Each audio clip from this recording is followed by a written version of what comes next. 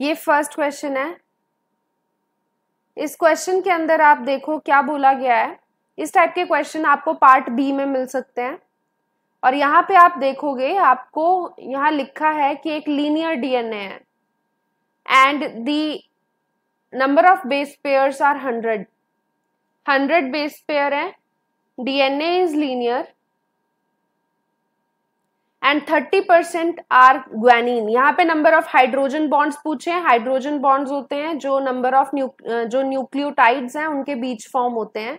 यानी दो अगर स्ट्रैंड्स हैं डीएनए के, यहाँ पे कुछ न्यूक्लियोटाइड्स का सीक्वेंस है। और यहाँ पे भी न्यूक्लियोटाइड्स का सीक्वेंस है। तो इनके बीच में जो बॉन्ड्स बनेंगे, वो बॉन्ड्स होते हैं hydrogen bonds and the number of hydrogen bonds between A and T are 2 and between G and C are 3. तो आपको नंबर ऑफ़ हाइड्रोजन बॉन्ड्स भी निकालने हैं नंबर ऑफ़ फॉस्फोडाइस्टर बॉन्ड्स भी निकालने हैं और 30 परसेंट ग्वानिन आपको गिवन है कि 30 percent of the bases constitute guanine G होता है। अब इस टाइप के क्वेश्चंस को किस तरीके से करेंगे? तो इसका तरीका मैं आपको बता दूँ। सबसे पहली चीज़, आपको हमेशा ये पता होना चाहिए कि G number of G molecules G nucleotides is always equal to the number of C G जितना होगा, उतना ही सी होगा, जितना ए होगा, उतना ही टी होगा। तो अगर thirty percent is G then C will also be thirty percent ठीक है? थर्टी थर्टी कितना हो गया? Sixty percent.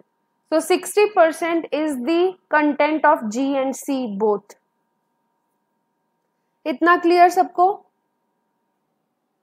Yes ma'am yes ma'am okay तो हमें ये पता चल गया कि जी एंड सी जो है वो कितना है। हाँ बोलो कौन पूछ रहा है? कुछ पूछ रहे हो या ऐसे ही। ओके तो आगे देखते हैं। तो G plus C is sixty percent and total amount is always hundred percent so if we want to calculate the number of A and T then हमें पता होगा कि A plus T is equal to hundred minus sixty हाँ sixty second होगा इसका answer तो ए plus T जो होगा हाँ. वो हंड्रेड माइनस सिक्सटी होगा। तो इधर से हम निकाल सकते हैं कि a plus T is equal to forty percent and a, क्योंकि t के इक्वल है सो so हम इसे टू ए लिख सकते हैं। Forty percent A is equal to forty by two यानी ट्वेंटी परसेंट जब आपको ये चीज़ क्लियर हो जाएगी कि किस तरीके से आपको क्या निकालना है तो आप डायरेक्टली पता लगा लोगे। If thirty percent is G then thirty percent would be C और थर्टी थर्टी, सिक्सटी हो गया और सिक्सटी को सौ में से माइनस कर दो, फोर्टी आ गया। And that forty is the cumulative या sum of A and T तो ए या टी की वैल्यू हो जाएगी ट्वेंटी परसेंट ये डायरेक्टली आप निकाल लोगे जब आपको ये चीज़ें सॉल्व करना आ जाएँगी। तो इसे सॉल्व करने की ऐसे ज़रूरत नहीं पड़ती जितना मैंने आपको बताया, इतना लंबा। आप डायरेक्टली निकाल सकते हो। नेक्स्ट अब आपको क्या बोल रखा है? हंड्रेड बेस पेयर्स हैं। Hundred base pairs. Hundred base pair का मतलब है कि there are hundred into two bases, यानी two hundred bases. Base pair है और एक पेयर में दो होंगे बेसिस तो बेसिस निकालने के लिए हम उसे टू से मल्टीप्लाई कर देंगे।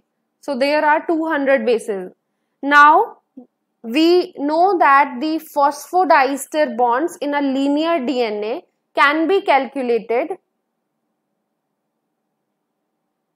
by the formula, number of bases minus two अभी बताया था लीनियर डीएनए के अंदर number of bases minus two formula हम अप्लाई करते हैं। अब नंबर ऑफ़ बेसिस यहाँ कितने हैं हमारे पास? 200 तो नंबर ऑफ़ फॉस्फोडाइस्टर बॉन्ड कितने हो जाएँगे? 200 हंड्रेड माइनस टू यानी 198 अब 198 वैल्यू सिर्फ़ टू में ही दे रखी है तो डायरेक्टली आप टू मार्क कर दोगे। बट अगर आप नंबर ऑफ़ हाइड्रोजन बॉन्ड्स भी निकालना चाहते हो, देखना चाहते हो कि किस तरीके से निकाले जाते हैं तो उसको निकालने का जो तरीका होता है, वो ये होता है। इसे मैं एक बार रब करूँ, फिर मैं आपको बताती हूँ। So number of hydrogen bonds G और सी के बीच में तीन हाइड्रोजन बॉन्ड्स होते हैं ए एंड टी के बीच में टू हाइड्रोजन बॉन्ड्स होते हैं। सो so, हमने निकाल लिया कि थर्टी परसेंट जो है वो ग्वैनिन है यानी thirty percent of two hundred guanine है। कैलकुलेट करोगे आ जाएगा sixty so sixty nucleotides after nucleotides out of two hundred bases are guanine तो सी भी आ गया सिक्सटी सिक्सटी सिक्सटी तो सिक्सटी सिक्सटी हो गया वन ट्वेंटी यानी G plus C is one twenty now we have to calculate A plus T A plus T क्या होगा? टोटल नंबर ऑफ़ बेसिस जो आए थे अभी two hundred minus G plus C की वैल्यू वन ट्वेंटी तो ए plus T जो आएगा, वो आएगा, कितना आएगा? एट्टी तो यानी ए की वैल्यू हो गई फोर्टी सिमिलरली टी की वैल्यू भी हो गई फोर्टी तो ये आपको यहाँ पता चल गया। अब इसके बाद आप और क्या देख सकते हो? इसके बाद आप ये देखोगे कि नंबर ऑफ़ हाइड्रोजन बॉन्ड्स बताए। तो ए और टी के बीच में बनते हैं दो हाइड्रोजन बॉन्ड्स तो 40 अगर ए हैं तो हाइड्रोजन बॉन्ड्स ए और टी के बीच में कितने हुए? 80 इंटू टू कर देंगे, क्योंकि दो हाइड्रोजन बॉन्ड थे उनके बीच में। सिमिलरली अगर जी और सी के बीच में निकालें तो तीन होते हैं। अगर कुछ नहीं समझ आ रहा है तो एंड में पूछना। अभी बीच में नहीं बोलो, फिर वो हो जाएगा, समझ नहीं आएगा। किसी को भी नहीं समझ आएगा। तो जी और सी के बीच में तीन हाइड्रोजन बॉन्ड होते हैं, और जी कितना है? जी हमारा निकला था सी सिक्सटी तो hydrogen bonds between G and C कितने हो जाएँगे? सिक्सटी इंटू थ्री यानी वन एट्टी तो one eighty plus eighty add कर दोगे, आपके total number of hydrogen bonds निकल जाएँगे, जो कि हो जाएँगे टू सिक्सटी। तो ये चीज़ कंफर्म हो गई, आंसर टू होगा। इतना बड़ा सॉल्व नहीं करना पड़ता, ये सिर्फ़ आपको समझाने के लिए मैंने सॉल्व किया है। आप इसे माइंड में भी सॉल्व करके इजीली जल्दी से आंसर निकाल सकते हो। अब बताओ, किसको क्या डाउट है इस पूरे क्वेश्चन को समझने के लिए?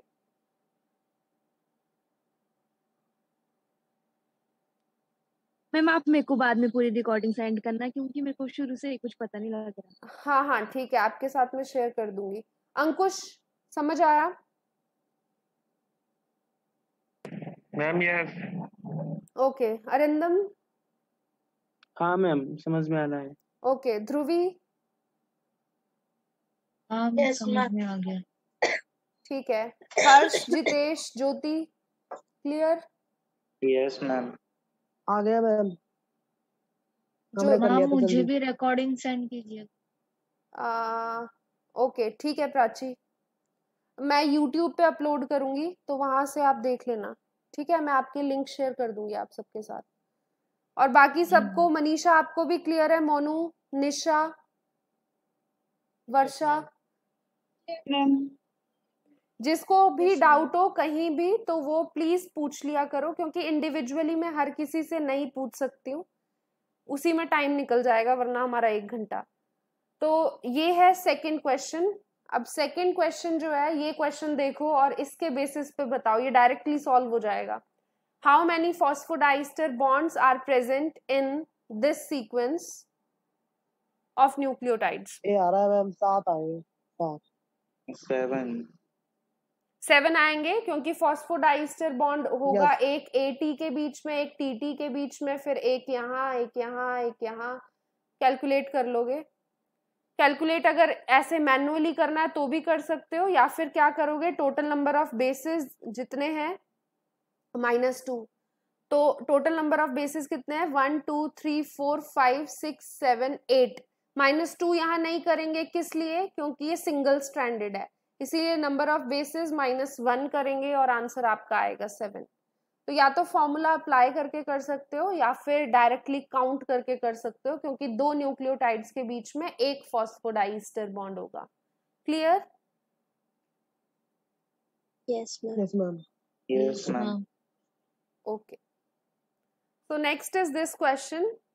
A linear double stranded ये रहा a double stranded DNA has 1.8 into 10 to the power 4 phosphodiester bonds. अब number of bases निकालने हैं। क्या आएगा इसका answer third option third third किसी और का कोई और आंसर आ रहा है? नहीं मैम थर्ड ही है। थर्ड ही आएगा। किस लिए? क्योंकि हम माइनस करते थे to calculate the number of phosphodiester bonds अब प्लस कर देंगे to calculate the number of bases तो number of phosphodiester bonds plus two हो जाएगा। तो ये इसकी वैल्यू आएगी। तो इसका थर्ड आंसर है। Next question if twenty if 2500 phosphodiester bonds are found in dna of bacteria bacteria then how many base pairs are present in it? Calculate करके बताओ क्या होगा ma'am fourth ma'am two five double zero ma'am. Fourth ma'am. Fourth देखो fourth Yes, कैसे होगा? Fourth yes ma'am fourth Ma'am, नहीं हो सकता है। ऑप्शन टू यस इसका आंसर है option two two five zero pair pair पूछना है मैम पेयर पूछा है। बैक्टीरिया है तो number of bases would be equal to the number of phosphodiester bonds यानी 2500 ही आएँगे number of bases but we have to find out the number of base pairs तो डिवाइडेड बाय टू 2500 बाय दो कर देंगे तो 1250 इसका आंसर ma'am. आएगा. तो क्वेश्चन देखा करो एक बार अब इसका बताओ. In an eukaryotic M R N A molecule, 2.4 million bases are present. Number of phosphodiester bond and number of hydrogen bond निकालने हैं। मैम थर्ड वाला क्योंकि मैम सिंगल स्ट्रैंडेड है तो हाइड्रोजन बॉन्ड्स प्रेजेंट ही नहीं होंगे। Yes तो इसका Yes, आंसर है थर्ड हाँ क्योंकि सिंगल स्ट्रैंडेड है एमआरएनए की बात कर रहे हैं और mRNA is always single stranded और अगर सिंगल स्ट्रैंडेड है तो हाइड्रोजन बॉन्ड ज़ीरो हो जाएगा। पीछे वाली वैल्यू ज़ीरो सिर्फ़ इसी में आ रही है तो थर्ड इज़ द आंसर और सिंगल स्ट्रैंडेड है तो नंबर ऑफ़ फॉस्फोडाइस्टर बॉन्ड्स भी निकलेंगे 2.4 मिलियन माइनस वन करके तो थर्ड इसका आंसर आ गया। Next we have this question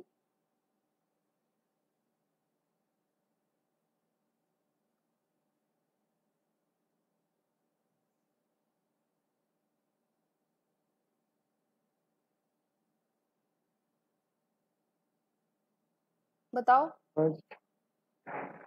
Fourth ma'am fourth. Okay. Any other answer?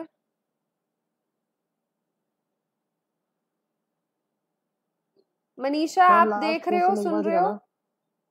Option last question एक बार स्क्रीन करना क्या करना है? लास्ट क्वेश्चन देखना है दोबारा से। लास्ट में अभी दिखाती हूँ आपको इसका आंसर सेकंड। मनीषा आप भी सुन रहे हो? Two point three into ten raise two six ma'am. Fourth ही आएगा मैम नाइन पॉइंट इसका आंसर फोर्थ आएगा। किस लिए? Number of base pairs given है तो इसको टू से मल्टीप्लाई कर दोगे और टू की मल्टीप्लीकेशन फिर किससे. होगी? इस वैल्यू से। तो 9.2 so number of phosphodiester bonds are al- always equal to the number of bases in the bacteria क्योंकि वहाँ सर्कुलर डीएनए है।